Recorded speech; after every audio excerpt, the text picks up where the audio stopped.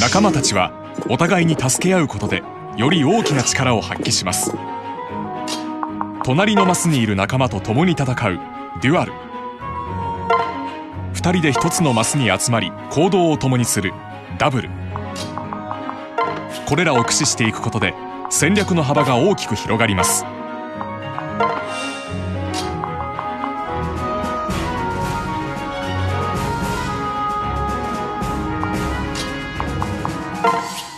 仲間が隣にいると後衛として戦闘に参加サポートしてくれます。行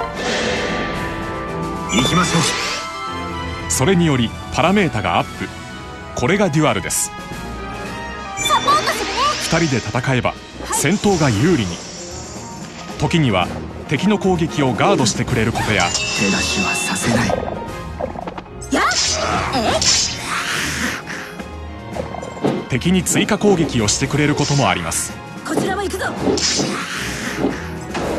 戦場では仲間を孤立させずデュアルが発動しやすい状況を作ることが大切です。俺がついている。どこを見ている？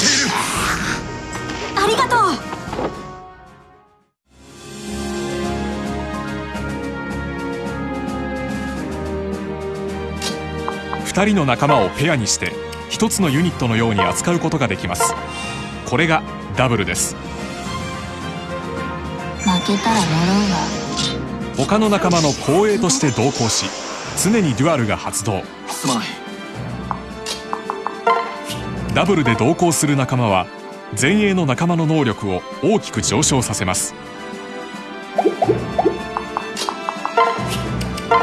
上昇する能力は仲間によって異なります。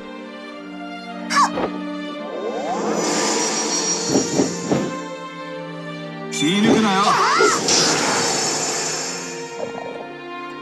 アーマーナイトとペガサスナイトをダブル。前衛のペガサスナイトが機動力を生かして一気に山を駆け下りていきます。目的地へ移動したら前衛と後衛を交代攻撃力の高いアーマーナイトが敵に攻撃を仕掛けます。よかった。後衛の仲間は敵から攻撃を受けません。弱った仲間を元気な仲間のもとへ駆け込ませて安全を確保。敵を退けて周囲の安全が確保できたら下ろして弱った仲間を回復。立て直しを図ります助かった。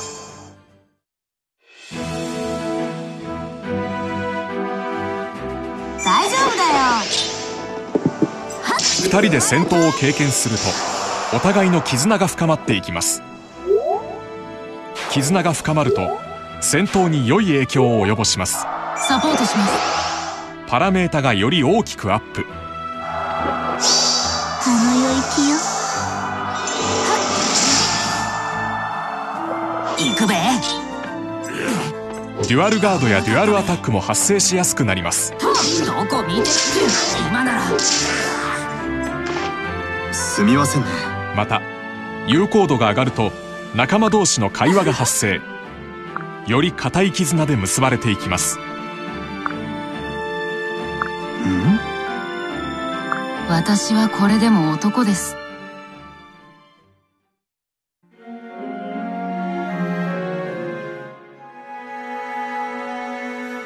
異性との絆が強く深まればその二人は結婚。私も好きです。その子供たちが仲間として参加し共に戦うこともあります。はい。